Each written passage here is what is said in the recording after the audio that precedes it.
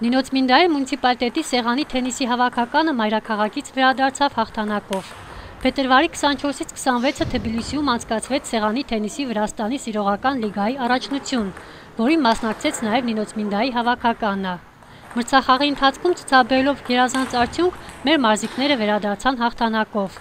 Նրանց խրախուսելու եւ հաղթանակը կատարյալ դարձնելու համար գյուղի զավակ Աշոտ Նոսոյանը մարզական պարագաներ, հագուստ դրամական պարգև շնորհեց Օրոջալարի 3 մասնակիցներ Ալիա Հանեսյանին, Վալերա Ղուկասյանին եւ Միխայել Հանեսյանին։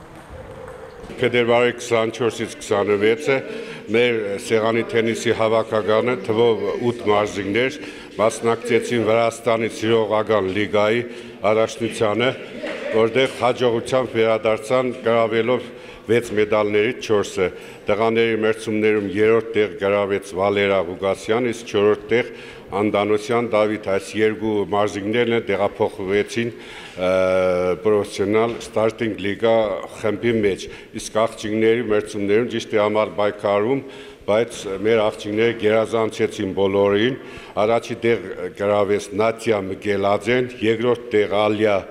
Հանեսյանը, իսկ երրորդ տեղ Խաթիա Վանաձեն։ Այս երեք մարզուինները, թենիսիստները երեքն էլ պիտի մասնակցեն Վրաստանի պրոֆեսիոնալ լիգայի առաջնությանը։ Շնորհակալություն Սայնեմ իմ քաղաքապետարանին, սպորտ դպրոցին, որ աջակցում է մեզ մասնակցելու։ Նշեմ, որ բացի այդ մեր բարեար Աշոտ Նորսյանը տեսնելով մեր